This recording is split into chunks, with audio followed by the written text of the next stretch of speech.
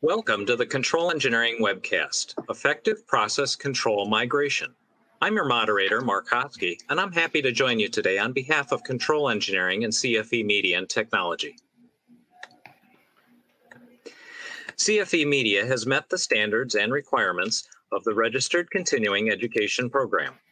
Credit earned on completion of this program will re be reported to RCEP at rcep.net. A certificate of completion will be issued to each participant. As such, it does not include content that may be deemed or construed to be an approval or endorsement by RCEP.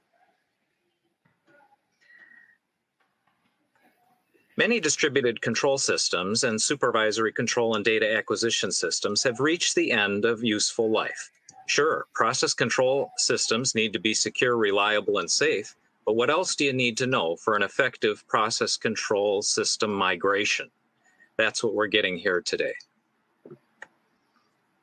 So the learning objectives for this course are to review who should be involved in a DCS migration and why, determine pre preparation, timing, and structure for a DCS migration, cover desirable traits and advantages of a modern process control system, learn what differs about migration projects compared to a few years ago, explore lessons learned before you start a DCS to PCS migration. To get the best results from the webcast platform, please make note of the following as you participate in today's event. If you're having technical problems, please click on the question mark at the top right corner of your screen to bring up a list of system checks to make before escalating to an online technician. If you're experiencing issues with slide or audio, please refresh your browser or click the Refresh Media button directly under the presenter's headshot. You can control the volume settings of the webcast by adjusting the volume on your computer or adjusting the volume on the webcast platform. If you need a technician, type a message into the Ask a Question box and someone will get to you as quickly as possible. Answers to your technical questions will be in the Answered Questions box on the left side of your screen. You can use the Ask a Question box on the left side of the screen to type questions for the speakers during the presentation for the Q&A session at the end. You may ask questions anytime during the presentation, and we'll get to as many as time allows. Questions for today's presenters will be answered verbally during the Q&A session at the end of the webcast. To download the presentation slides, use the Event Resources tab on the left side of the screen. To take the Learning Unit exam, use the Learning Unit Exam tab option at the top of your screen. The exam will open in a new browser window. You can complete the exam after the webcast. However, the link will break when the webcast signs off. The exam will be posted with the on-demand version of this webcast. The exam is for one ACEC certified professional development hour. The webcast is being recorded, including the Q&A session. We'll post an archive on the Control Engineering website in a few days, and we'll send you an email with the link to the archive once it's ready. The method of delivery and category. Uh, this event is a live educational webcast presented on March 24th, 2021. The educational category is Technical, Health, and Safety. We welcome to the webcast Don Bartusiak, President, Collaborative Systems Integration, and Lynn Nya, Business Development Manager, DCS Next Process Automation Consultant with Ma Maverick Technologies. I'm your moderator, Mark T. Hoske, Control Engineering Content Manager. Don Bartusiak is President of Collaborative Systems Integration and co-chair of the Open Process Automation Forum. In October 2020, he retired as Chief Engineer Process Control for ExxonMobil Research and Engineering with 33 years experience. Previously, he was a research engineer for Bethlehem Steel. At ExxonMobil, he implemented real-time artificial intelligence, linear and nonlinear model predictive control, and real-time optimization applications. Bartusiak held supervisory or senior technical positions responsible for instrumentation, process analyzers, control systems, and control applications. From 2000 to 2002, he was an adjunct professor at Rice University. Don uh, received a, a, Bachelor of Science from University of Pennsylvania and a Master of Science and PhD degree from Lehigh University. He is co-inventor on five patents. Lynn Ya is Business Development Manager, DCS Next Process Automation Consultant at Maverick Technologies. As a platform neutral process automation consultant and account manager, Lynn is a, has a genuine cu- customer advocate who has spent her career covering the design, implementation, estimation, and planning of industrial control projects and applications. With more than 30 years' experience with instrumentation and control systems and software, Lynn leverages her industry expertise to help customers make strategic key technological business decisions and implement solutions that best fit their operational and business objectives for the future. Before Lynn starts her presentation, we're going to ask the audience to introduce themselves by answering a few poll questions.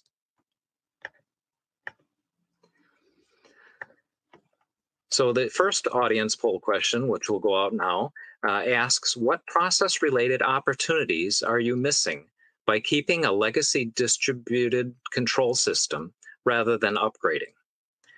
Check all that apply. So uh, difficulty applying incremental improvements, uh, modern alarm strategies, open uh, systems, standards-based architectures, real-time transparency into processes and supply chain, sleep because of after-hours maintenance and repairs, uptime or reliability because of unplanned shutdowns. So uh, please um, go ahead and answer that question. And in just a second, we'll move on to the second question. So we want to get your input and we'll give the results at the end of the webcast.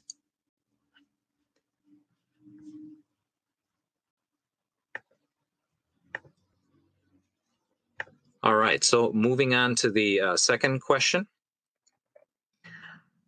Uh, audience uh, poll, uh, what technology related opportunities are you missing by keeping a legacy distributed control system rather than upgrading. Check all that apply.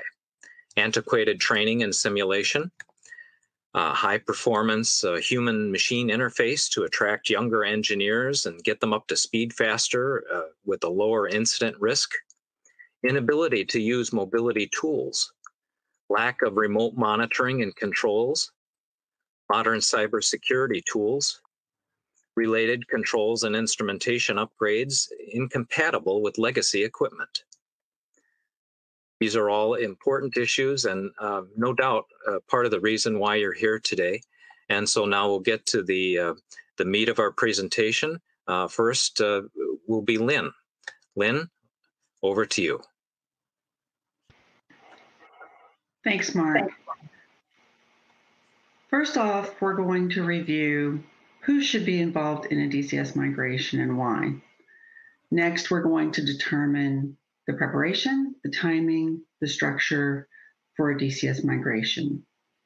After that, we'll cover the desirable traits and of a desirable traits of and advantages of a modern process control system.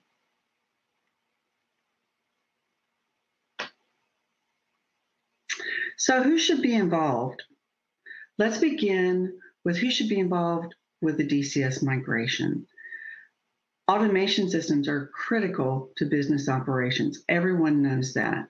They are the brain for the plant, for process control and output, and ultimately the profitability. There's also a lot at stake, hence, stakeholder. By definition, a stakeholder is a person with an interest or a concern in the business. So, who needs to be there and why?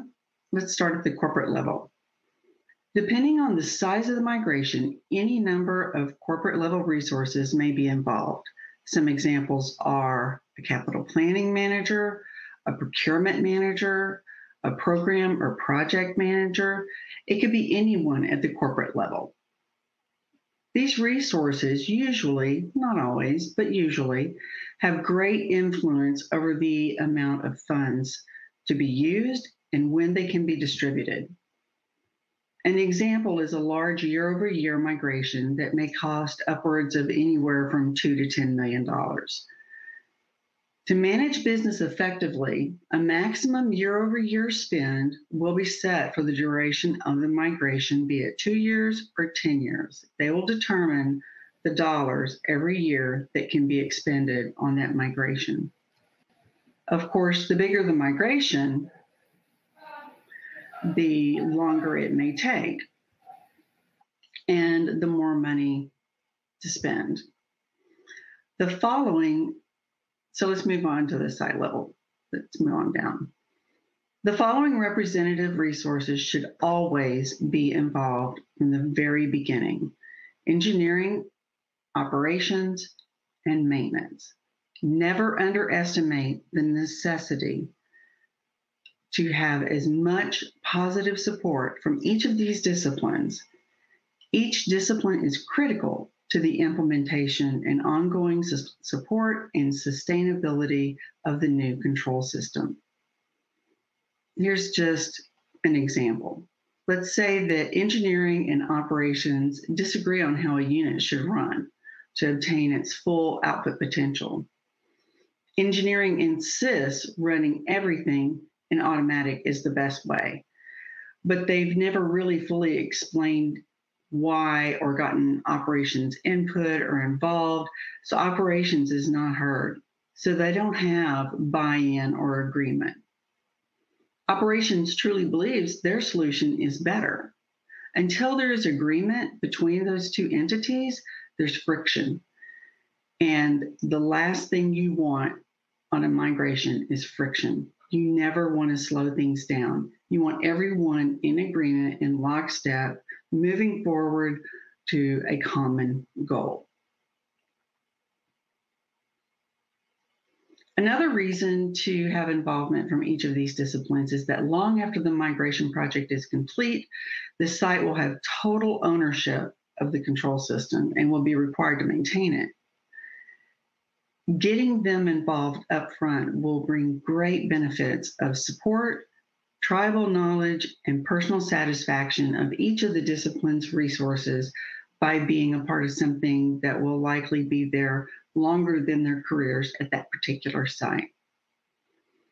I know that in my career, there have been times that we started a migration and people on the team said, Hey, I remember when I installed that way back in the day. And they can tell me particulars about what happened, uh, what was good, what was bad, who worked on the project, and what it was like. So it's really a memorable thing when you do a migration. So let's move on to how to prepare for a DCS migration. Historically, front end loading or FEL process begins the project and has three primary goals. Number one is providing budgeting justification to successfully navigate the corporate capex funding hmm, funding toll gates and the ability to secure stakeholder, remember the stakeholders, support through the organization. Number two is to reduce the implementation risk for cost, schedule, and system performance. Number three is to provide reliable reliable is very key there. Preliminary engineering and project execution planning. So, what are FEL phases? So, just briefly, FEL 1 is a conceptual level. Its accuracy is approximately plus or minus 50% for the estimate and subsequent um, documents that go with it. And it's basically a, a go or no go for the project. So it's very high level conceptual. The business wants to know does it even make sense to do this project? For most DCS migrations today, they're facing obsolescence or there's risk issues. So sometimes they'll just skip the FEL1 phase altogether because they already know they have to do it, they don't have a choice. FEL2 level is the capital planning level. That's uh, an accuracy of about plus or minus 30%. This is when the year over year plan is estimated. And also during this phase is the appropriate time if you think, if a company thinks they may want to migrate to a different control system platform, this is the phase that they would select that platform at. FEL3 is to fund individual projects. There may be many smaller projects in a large capital plan. So every project gets an FEL3 because it needs to be narrowed to plus or minus 10%. But let's not get hung up on FEL. That could be a whole webcast all by itself. Let's just say, for the purposes of this webcast, let's assume right now that we're in the FEL2 phase and we're looking at capital planning at a plus or minus 30% accuracy for estimating and planning for year over year migration. So, how do we begin to do all that? First, we begin by defining an overall scope that's well aligned with the business needs and the facility requirements. Depending on the size of the migration, the scope may need to be parsed out into multiple projects. Remember when I said FEL3 gets um, every all the individual projects get an FEL3? This is that parsing out. It could be a really big organization or a plant that has a lot of different processes or separate processes that need to be migrated separately. So there might be separate projects, or this might be a smaller migration. It could be something very much smaller. Next, very early in the process, you'll want to define the risks and determine how to mitigate them. This is a critical activity that should get input from the stakeholders at the corporate level and should also have a brainstorming session at the site level with operations, maintenance, and engineering. There's those three, again, that I mentioned to you that are really important to keep them working together, even through looking at all the risks. Getting those risks on paper and understanding what they are and how to mitigate them before you ever begin will be extraordinarily helpful in your migration. You'll want to consider such things as safety, downtime, resource availability, network traffic levels, data integrity, cybersecurity, while there's still the greatest flexibility to deal with them. It's, it's much easier to deal with all those things before you started your project than when you're halfway into it. It's best that this step be executed prior to developing the migration plan. Again, the earlier that's identified, the easier it is to deal with. And it's also uh, less expensive to deal with it from the get go. The FEL2 phase, as I mentioned before, is the appropriate time to evaluate and select the best control system platform to be migrated to and evaluate your project options. Look at all the options and really take your time to see what is going to be the best fit. Subsequently, development of an execution plan for both the engineering and the installation of the new system should begin. That includes the reverse engineering of the functionality of the legacy system to ensure the functionality, no functionality is left behind, as well as how the new system will be cut over. Will it be hot or will it be in an outage? From the previous steps, the development of an accurate cost estimate to the level appropriate for the FEL phase for the project that the project is in should be started. This is called the total installed cost estimate. And if you ever work on a front end loading project, you will hear that a lot total installed cost estimate or TIC. So, one of the outputs of that TIC or estimate is the man hours. This information is going to be critical to the development of the migration schedule. A proper migration schedule should be all inclusive of all of the following for each parsed out project. So it should include the current and subsequent FELs, design, engineering, testing, installation, startup, and commissioning. Additionally, development of the total cost of ownership, or TCO, for comparisons of different options to select the best alternatives and to maximize return on investment should be considered. If the migration is small, the cost of putting a TCO or total cost of ownership together may not make sense. Utilizing all of the documents I've mentioned, an assessment should be you using, I'm sorry, an assessment using a phased approach to spread out the capital expenditure over the years should be analyzed and reviewed with the guidance of corporate stakeholders for expenditures. So let's look at how we successfully plan a migration. If you take nothing else away from this discussion, I'd like to emphasize that an early and strong effort spent on good, effective planning pays dividends. You may be able to change the outcome of your migration project throughout the effort, even towards the end. However, we all know that the effort required to effect that change and the associated cost rises very quickly the further we get into the project.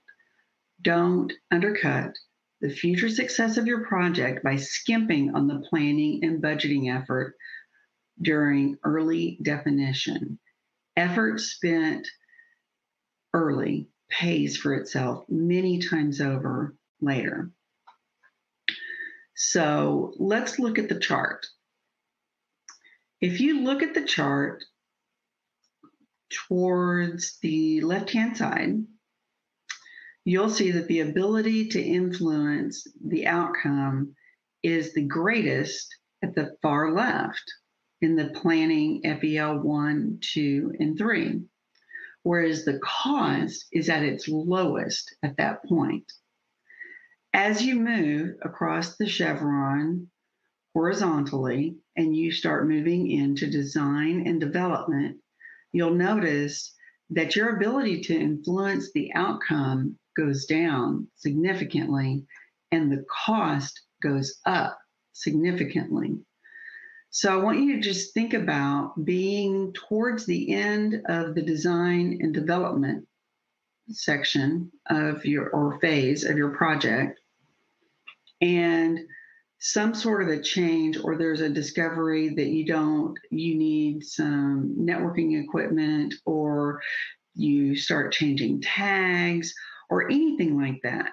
That's going to cause reverse engineering and anytime you have additional reverse engineering, it's going to cost more money. And this is usually how budgets get blown on projects is by not spending enough upfront time planning, getting everybody on board, and really thinking through everything and thinking far ahead and not just trying to go ahead and get it migrated. I've had a lot of customers that are in a really big hurry to get their migration done, and it takes us twice as long to get it done because they skipped the whole planning, the real planning phase, and went straight into implementation. Uh, it's a, it's a, it, unfortunately, it's a, it's a common issue. Okay, so let's move on to and talk about some innovation. Whenever I talk about opportunities, I really, really want to emphasize that these are the items you should incorporate into your migration planning because they will pay for themselves. I've seen it time and time again. For example, tests have shown that it takes 41% longer for an operator to handle an abnormal situation using a legacy DCS interface as compared to a high performance HMI in a modern DCS. With a high performance HMI, plant problems are recognized much earlier, giving operators a chance to intervene before production is impacted. And I can give you a real live, real world instance that I witnessed myself. I was um, consulting and in a control room with my customer, and they had an incident. And they were using the black screens with uh, a lot of different colors. You've seen them, that's on a lot of probably like Honeywell old TDC 3000s. And it took them more than 20 minutes to figure out what had gone wrong. There was a big, all production stopped. My customer excused himself from me. I just stood back and watched what was kind of happening in the control room. And there was a lot of confusion. There was some finger pointing. There were operators running in and out of the doors trying to figure out what was going on. And it took them 20 minutes to figure out what had happened so that they could begin to fix it and get back online. That's a really long time. Okay, so moving on. Likewise, a typical plant loses more than 5% of its total capacity every year to dis- due to disruptions caused by poor alarm response. By eliminating unnecessary alarms and properly prioritizing those that remain, it's much easier for operators to quickly identify root causes and effectively take action. So, what I've talked about there are two separate innovations one being the HMI, high performance graphics, and the second being alarm rationalization by reducing the number of alarms coming into the control room. Both of those were part of the real world instance I just gave you.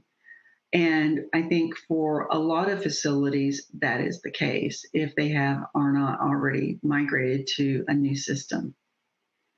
And even if even if they have moved, migrated to a new system, they may not have performed those activities when they did migrate. So it's not too late to go back and get that done. And it will still pay for itself. But it's always better to look at that during your migration. You have an opportunity to really take advantage of what's going of, of that time and that planning to gracefully get things incorporated into your migration. So, identifying what new technologies to incorporate based on their benefit for your particular situation will pay dividends establishing integration across multiple platforms, including manufacturing execution systems or MES and business systems, have become crucial to being competitive.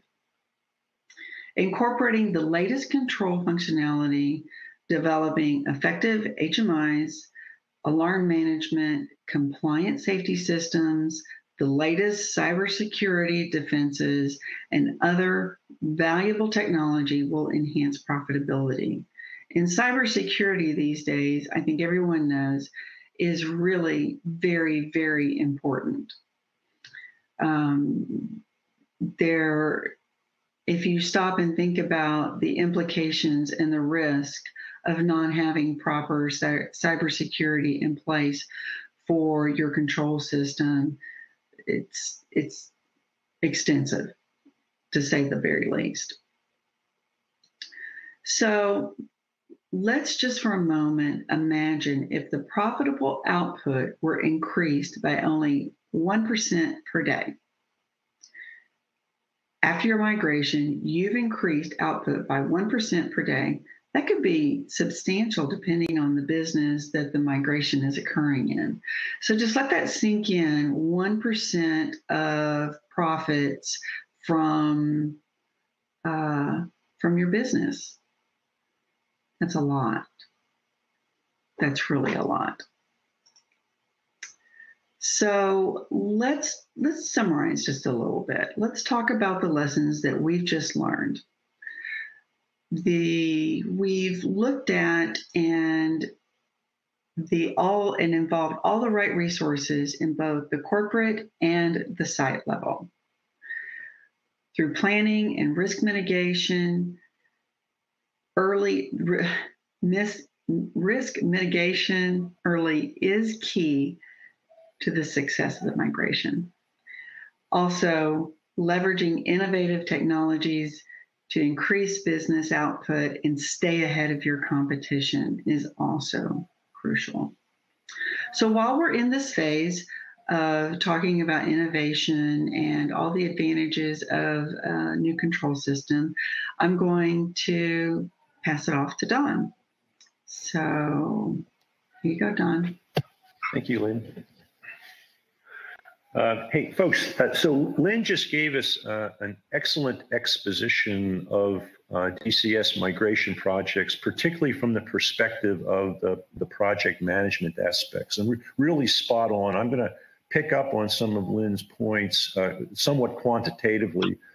Uh, but with with my contribution to this webinar, I'm going to take more of the engineering and operations perspective and I'm really going to speak uh, kind of to some extent from a, from a trend in the trenches view on, on, what happens during DCS migrations. Okay, so that's that's going to be the, the contrast that you'll see in my perspective compared to Lynn's. But Lynn's, Lynn's remarks were, were excellent, spot on. Um, so my outline is on the screen here. Let me summarize it. I will basically make some remarks about um, current state of the art of DCS systems and what we see as the art of the possible in, in, a, in a future state. And, and, and it's all about talking about DCS migration activities. So, so th think of my remarks from, from those two perspectives. What, what do we have now? What's the state of the art now? What do migrations look like now? What are what is motivating us to do better than what we can do now? Okay so that's really where i'm going to be coming from. Um, so uh, I, I want to offer a thesis statement uh, for my talk here and let me just assert that uh, dcs migrations are typically uh, acts of necessity motivated by obsolescence. DCS in today's state, DCS migrations are acts of necessity motivated by obsolescence. Um, we always try to justify these projects with a return angle. It's often tough to do that when um, when when you're doing an in-kind replacement. So, so that let me talk about the scenarios um, that are involved in DCS migration projects. So when I use the phrase in-kind replacement, that basically means you're taking currently available state of the art. You're either sticking with your same supplier and upgrading to a new version of that supplier's product, or in some cases, you're going to switch from one supplier to another. The typical phrase that's used for that scenario is competitive replacement. And so, what your company does, uh, either to continue with your current supplier or switch to another, reflects your company procurement strategy.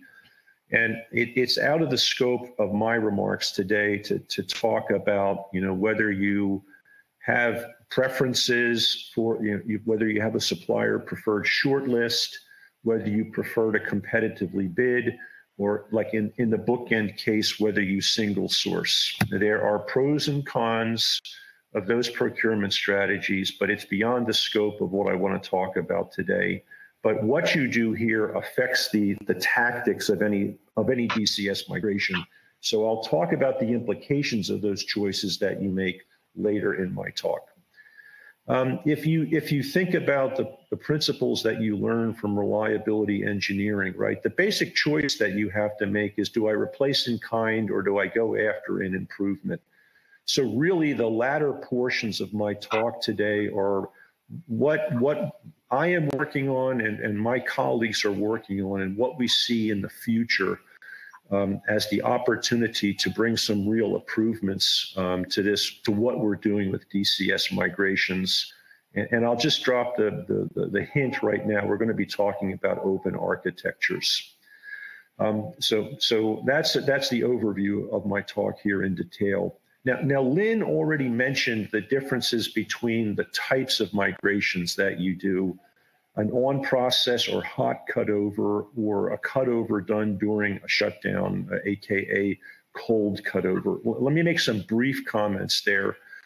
Um, I, I, think the most common approach, if it, dep- it, depends on your industry. If if your manufacturing unit uh, for whatever reasons, is shut down from time to time, then you have an opportunity to do a cold cutover. Um, if you are in a, a manufacturing operation, a, a, continuous operation that you know will go years without a shutdown, without a planned shutdown, the, the likelihood is that you will adopt for a hot cutover strategy. And there, there are limit. I'm not going to. My talk is really going to be on the basis of hot cutovers, but I, I do want to make a comment or two about cold cutovers. Um, you know, some some companies, and I, the, the, the notable example would, is the Japanese companies that have to go down like for routine safety inspections every year. That's where I've seen cold cutovers being done um, in units like refineries and, and the big petrochemical plants. The, the typical argument is that with, with a hot cutover scenario, you're you're taking risk in smaller pieces, right? You may botch a loop transfer or you may get a new control strategy wrong, but that's a very small risk compared to the risk of having to extend your downtime or risking a big unplanned production loss because of delays in startups after a massive replacement project during a turnaround. So that's usually the basic thinking behind this cold or hot cutover scenario decision. But again, I'm gonna I'm gonna leave that topic. I don't have time to elaborate more. Let me press ahead. So just to just to tee up my remarks, let me make some baseline comments about the, the, the traits of currently available industrial control systems. So on you know the good news is that you know we we enjoy uh, our suppliers give us systems that have been honed over decades, um, and and they they are reliable. They deliver high availability to to, to their customers, and, and that's wonderful. Um, today's DCSs are, are very tightly integrated, and one of the benefits of that very tight integration is relative ease of use of the system. I mean, uh, your your engineers can they build a tag, whether they want to use that tag in a control strategy or put those data up on the HMI or historize those data. It's relatively easy to do. Benefits of tight integration. So, what are some of the negatives associated with the DCSs that we have today? Um, be, because they, they're made up uh, many times of proprietary interfaces and communications mechanisms. There's limited interoperability between systems sourced from different suppliers. This is an impediment to business value capture by the end users. Um, there are barriers to entry uh, for innovations coming from third party suppliers, be it hardware or software, where you'd like to in- implement those solutions within the boundary of the, of the DCS. And, and there's a downside of tight integration. Um, when a component piece becomes obsolete, uh, the, the downside of the tight integration often means you have to replace the whole system just when one component become, becomes obsolete. Or in the case of computing nodes, you're, you're giving up the ability to take advantage of Moore's law because you simply can't insert new computing technology easily um, inside the boundaries of the DCS without the supplier doing it for you. And the other unintended consequence of that tight integration, because these uh, platforms are different among the suppliers, is even if you upgrade within one supplier's generations of products, you may actually, the end user may have to rewrite your control strategies, reprogram, reconfigure, rewrite, simply because the proprietary language uh, has changed uh, between suppliers or even from one supplier's generations of products to another. Um, and, th- and, another attribute uh, of the current current state of the art is that largely the systems that are currently available were designed quite some time ago, before cybersecurity is was the threat that it is today. So a gap to be closed is to improve the, our ability to introduce cybersecurity technologies in the industrial control system. So let's let's get into the details now of, of, of a life a life uh, of a DCS migration project. And again, not so Lynn gave a fabulous exposition from the project management perspective. I'm going to give you the in the trenches perspective. So I won't reiterate the, the exposition that Lynn gave in terms of justifying the project, selecting the target system. Um, so let me pick up the story here with this, this third, the third bullet, the third sub bullet on this slide. Um, particularly if you're in a hot cutover scenario where your old system and new system are going to coexist for an extended period of time uh, one of the things that um, can be done is to introduce a temporary migration gateway device that enables the old and the new system to uh, interoperate for a period of time so that you can progressively move uh, your controls from the old system to the new system. There's a lot of devil in the details there uh, about what goes into these proprietary, uh, uh, rather these these uh, temporary uh, migration gateway types of devices, in terms of needs for cooperation of the intellectual property owner, et cetera. But again, I don't, I don't have time to go into the details on that. Um, then you have to design the applications in the target system. And a comment that I want to make there is, you know, if you bring project management talent into your project here, you have to assume that their frame of reference is going to be, you know, minimize change, minimize change, minimize change, control change. So you might get into a venture philosophy that says the new the new applications are going to look exactly the same as the old applications. Well, the downside of that is you can forego a lot of value to do the job better faster or cheaper by taking advantage of the capabilities of the target system. And I've, I've actually seen projects, head to head, apples to apples comparisons of projects that have taken what I call a transliterate approach. That's where the venture philosophy is that the new application should be exactly the same as the old versus a translate pr- approach, which takes advantage of the capabilities of the new system. I'm probably signaling my bias here, but again, this is a trap you need to watch out for, um, depending upon the staffing and resources you bring to your team. Um, you need to design your HMI graphics in the target system. I, am guessing everybody in, in this audience knows what, what I'm talking about there. Um, so I'm not going to elaborate on this, but you know the cust- you know the, the operators have a lot of ownership on on the schematics. So it's important to to get them involved as you uh, you know as you propose new uh, new schematics.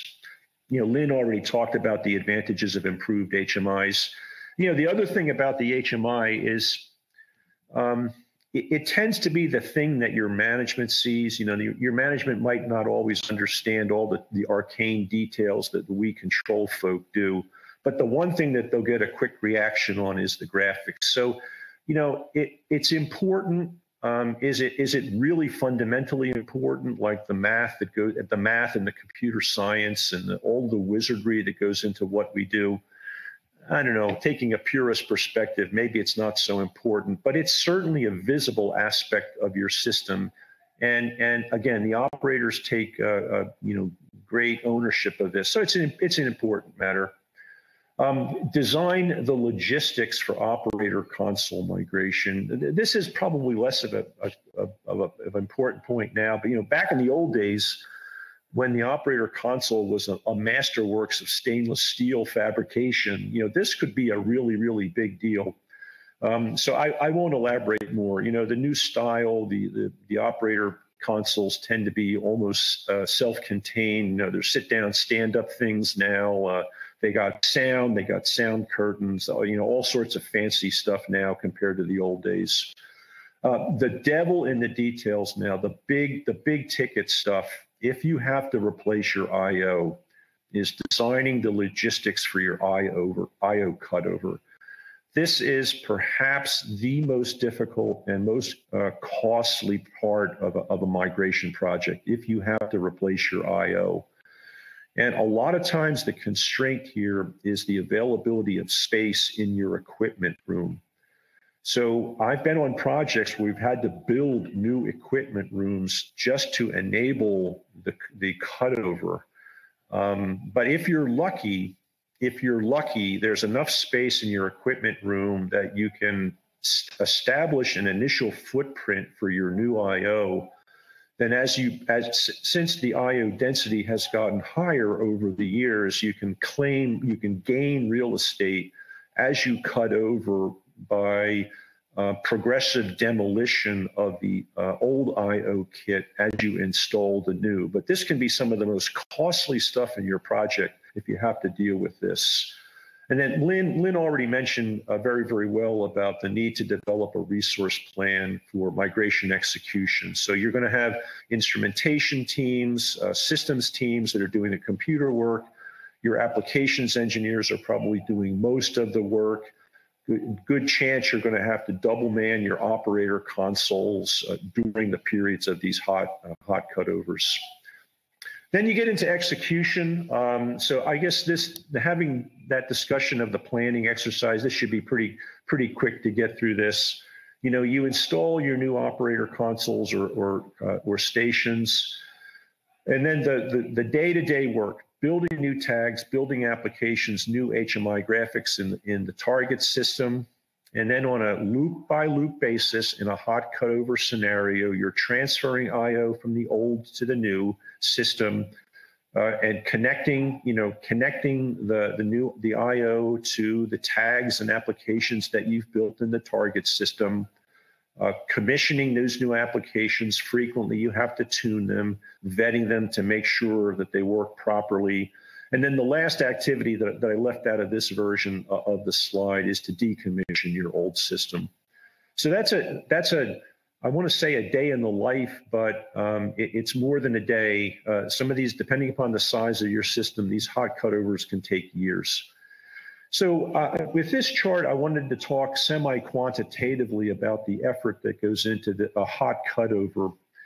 So with this chart here, I, I gave a, this is a semi-quantitative breakdown of the cost distribution. This is accurate, but not precise, right? So in the neighborhood of 20% of your cost is going to be for new hardware and software licenses.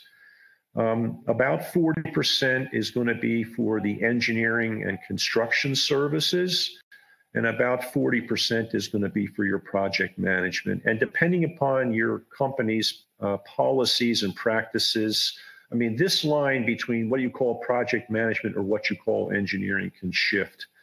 But the, the basic takeaway from, from this is that the majority of your costs are going to be in the in the work hours of the operating company or your contractors to do this work. So these data uh, are, are my personal experience from uh, you know many uh, hot cutover projects, scaling ranging in size from a thousand to ten thousand IO, where uh, again, for, for this size project, if you start the clock at the planning, project justification stage through decommissioning, you're talking two to four or so years durations. Um, the magnitude of cost in very coarse numbers is a million to tens of millions of dollars. Um, as I said, when detailing the pie chart, the hardware and software costs are only a minor portion. Your instrumentation systems and applications engineering costs are a function of the IO count and the amount of application rewriting that you have to do. And your project management costs are largely a function of the duration of the project. So I want to I want to pick our heads up now and maybe look to the future. And um, so I'm, I'm, really segueing quickly here, and I, and I, don't have time to go into a lot of the details, but um, I want to touch back on that. If it's not an in-kind replacement and you go after an improve initiative, what, what magnitude would you be looking for? For uh, is are you looking for an incremental change? Or are you looking for a step change? And the story I'd like to tell you all now is really where we're seeking a step change improvement in, in what can be done in a DCS migration scenario. So this chart here um, is uh, okay. So I'm going now. I'm going to be talking about open process automation. Mark Mark encouraged me to talk about this uh, in this webinar, so I'm going to take this opportunity to do so. Um, but open process automation is an initiative that's been underway now for a, a good four years, if if not longer, depending upon where you start the clock to bring open architecture principles to the industrial control uh, marketplace. In contrast to the Purdue model that we use that reflects the, the reference architecture or, or design principles of today's DCSs, this chart depicts the reference architecture of open process automation. And I'll, I'll, I'll be very, very brief about technical stuff here. So there's three basic uh, elements to distinguish what we're working on here compared to a traditional DCS. So characteristic number one are the edge devices, which are called distributed control nodes or DCNs. Um, so this is where you do I/O. This is where you do your first touch of computing. So to map it to the Purdue model, this is these devices is where you will be doing like Purdue model level one and level two types of applications. Uh, at, uh, aspect number two is the OPAS connectivity framework where in contrast to the currently available products, an industry standard networking technology is being used here for communications among nodes and with other, uh, uh other parts of your enterprise. And then the third a- aspect of, of the open process automation reference architecture is the concept of the advanced compute platform. Think of this as your platform for Purdue model level two and three types of applications where we're basically in, in, in essence trying to use the types of innovations that have been developed in IT data center technology, scale this down to the uh, low latency, high availability requirements of a control system for on-premise location. Okay, so that's that's all I have time to talk about for, for what the open process automation architecture is. Let me shift to a discussion of what are the pain points that we are, would be solving with this and the, and the incentives for new business value generation.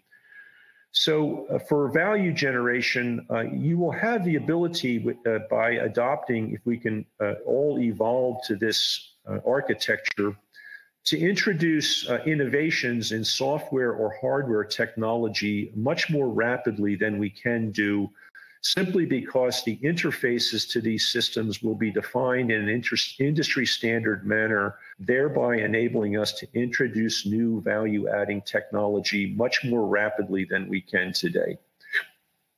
Uh, how would we reduce total cost of ownership? Um, in this state, we will be able much more readily to do upgrades at the or replacements at the component level rather than the whole system level.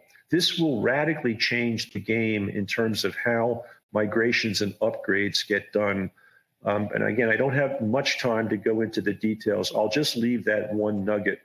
And the third mechanism of value and the incentive to go after to pursue this is that um, we are basically building in um, mechanisms for adaptable cybersecurity means to be added and incorporated into the component products that would make up an OPA, OP, OPA standard based system. So, in the interest of time, let me kind of get to my last slide um, and just, just some concluding remarks. So, I, I tried to I tried to share some details, including some quantitative information on DCS migration projects but I want you to take away um, the notion that I'm, I'm, we're not bashing the, the, the, suppliers in this space. I mean, control systems have gotten incrementally better since the 1980s, but the, the, the step change in innovation that marked the transition from single loop, single loop electronic to DCSs, so I'm going back into the 70s and 80s, that was a big step change. But since then, it's been kind of incremental progress. And the story that Lynn and I are telling you about DCS migrations really hasn't changed much in a really material way over the last three, three to four decades. So, and, and, like where the operating companies have generated the most new value has really come from the applications that have been delivered in Purdue model level three, really above the control system itself. So that's the kind of macro context that I'm coming from. And, and if you compare that uh, to the rate of value creation and cost reduction that has been experienced by the tech industry and what you experience as a con- consumer user of electronics, uh, the contrast is quite stark. And so I, I, I, put this is this is meant to be a little bit of coy thing here uh, to, to, to engage the audience a little bit. So blank, blank, a word is defined by doing the same thing over and over again and expecting different results. If we really want to change the game in terms of what happens during control system upgrades, I think the time has come for us to step back and take a different approach. So the audience can fill in the blanks here. And the, the thing I want to leave this uh, audience with is the this the thing I talked about open process automation is not just slideware um, there's a many, many people, many, many companies have been working on the open process automation standard now for a good four years.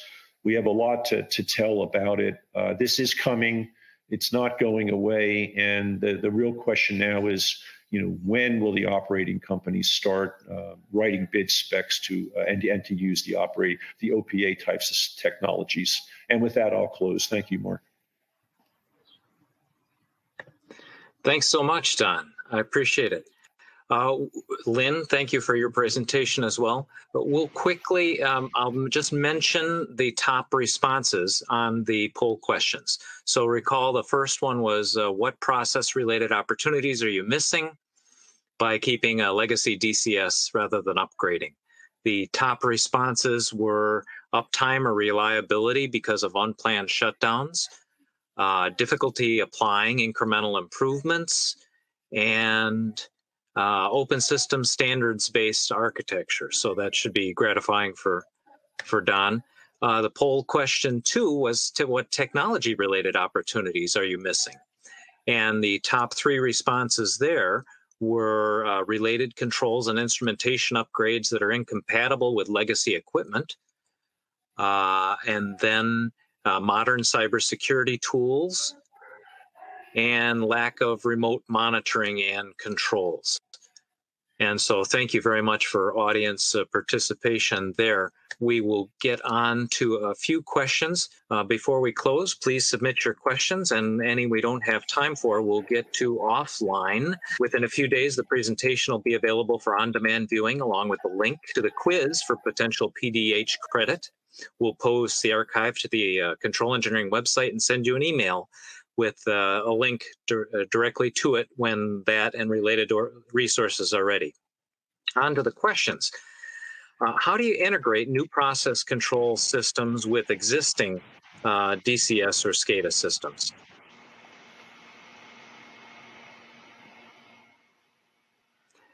Don, uh, Lynn, either one of you would like to take that? Go ahead, ladies first. um, so I think that planning is is probably your your best por- course of action. Having a a SCADA system and mapping it over to a control system, it takes some time and it takes some uh, some documentation. I know that uh, most of the projects that I've seen come through uh, that I've done lack documentation. So mapping things out and planning things out uh, is usually the best course of action. Don, would yeah, you add to answer, that? Yeah, yeah, quick answer for me. So if it's a, if what you're trying to interface to is a, like a package mounted unit or you know a modular unit or an analyzer or something like that, then the the, the workhorse for that continues to be Modbus. Um, if you're trying to interface to a, a legacy, a, a, larger thing, um, that's when those gateway products come to bear. And um, you know, the only way that the gateway works is that is the supplier of the existing. If the supplier of the existing thing that you're trying to interface to, not the new target system, really has to let you know what the data structures and the protocols are to build that gateway. So that's you know that there's a technical and commercial aspect to whether that can even be done or not so that they're the kind of the hard nuggets of interfacing with with systems that are not built to industry standards great um, how do you integrate uh, different control systems of uh, different brands from different vendors. That must be a, an issue for many companies.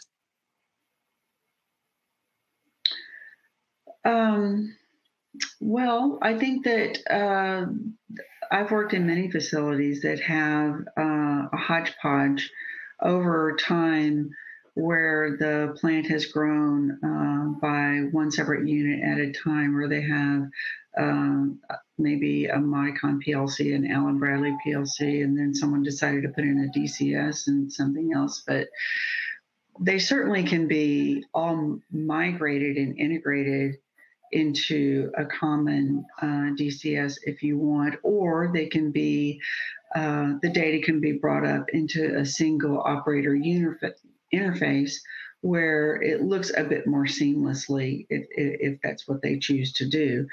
Um, there are many ways to, to approach such a thing. I'll pass that off to Don as well. Well, I'll give you a short and provocative answer, Mark. They can't.